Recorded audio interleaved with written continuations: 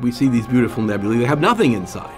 And that's because the star has disrupted entirely in a supernova.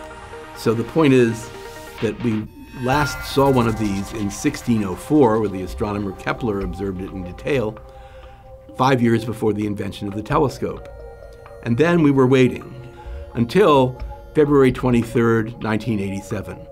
383 years later, we see the star going from almost nothing, with the arrow on the left, to an enormously bright, visible um, to the naked eye star. And that's a star that's undergone a supernova explosion.